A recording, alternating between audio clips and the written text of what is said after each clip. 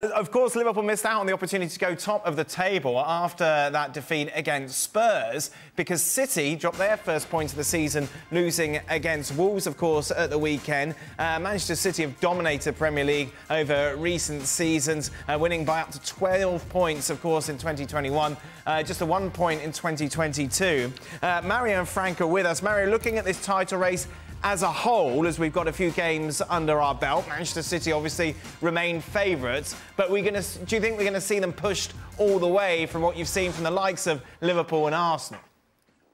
Yeah, I mean, look, uh, you, you, want that to happen too, because if you're looking at the league, you want you want the competition. That that's also the key thing why everybody enjoys the you know the Premier League when you have teams that can beat you anytime. Okay, for City to lose what is it? They haven't what two games in two seasons or whatever the number was, or but they they are so uh, vital in in the sense of like their objective. They always like he always prepped them, even when they lost this game.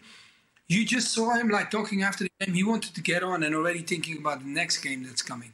So having said that, yeah I want I want the Arsenals and, and the Liverpools. I want them to run right up to them and make it really difficult for them. I don't want the City just to run away with it and make it easy for them. So I hope that's gonna. It was a shake up because no one expected that result to happen because they had the opportunities. But for to be being beaten by a team like that, you don't expect City that happen that to happen to City. Who do you think is going to push them the most, Frank?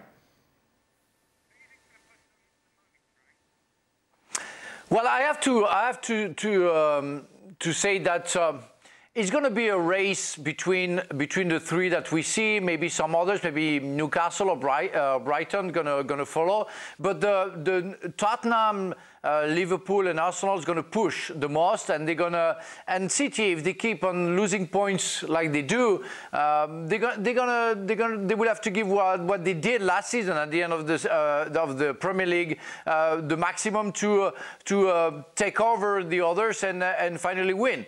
But um, you will have like five I would say yeah, between four and five teams capable of chasing Manchester City and giving them a, a hard time.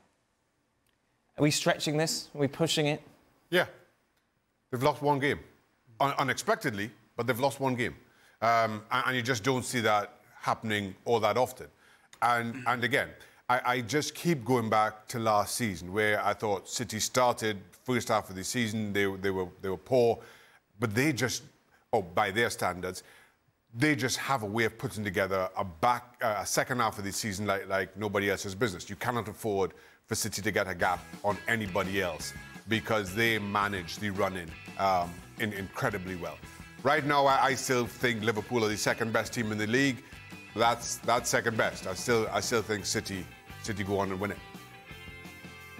Yeah, I can't argue with that. I think I think Liverpool and Arsenal, if anybody are the two. Why is no one talking about Spurs? They're second in the table. Spurs are not deep enough, Dan.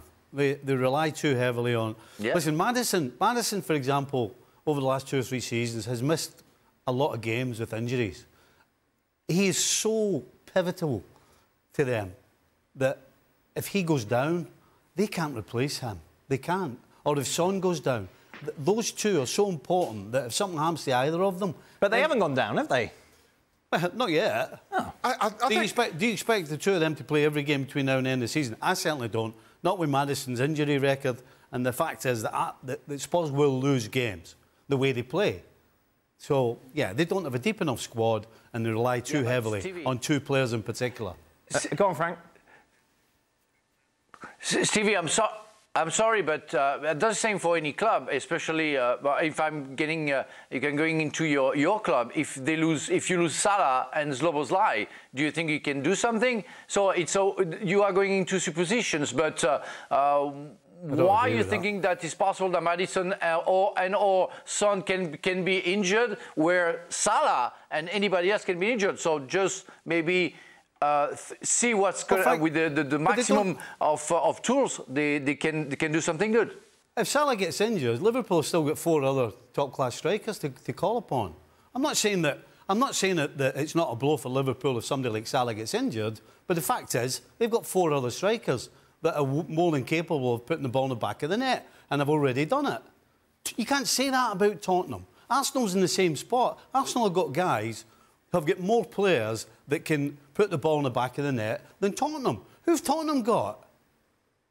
After Son and Maddison, and Maddison's a playmaker, not a goal scorer, who have Tottenham got? So those the, Liverpool and Arsenal have way more than just one or two guys that can that can make a difference. Uh, Mario? Yeah, no, I, I, I understand what Steve is saying. You know, like uh, I, I, I see what Frank Frank is saying, but we're looking at a Liverpool that's that's been doing it for so long. When it comes to Spurs, we also have to remember eh, this is his first season. He has not had a dip yet with his team. So let's wait till right. Ange, see what he's going to do. And when we all know the winter comes, that's when the real stuff happens because they have no European worries. You know, not as you know like uh, the the biggest pressure because that's not the key thing what I really have to focus on. The focus is the league. Let's see where we can build our momentum and the normalism of the league. I think that's what Ange is focusing on. But let's see now, eh? because when the winter comes, I want to see where Spurs is, and not coming from like the rivalries are because people will pick up and say like, oh, because you're a Chelsea boy. No, that is just because Spurs is playing really, really some great football at the moment, and that's why I'm like, let's see if something happens to them regarding injuries.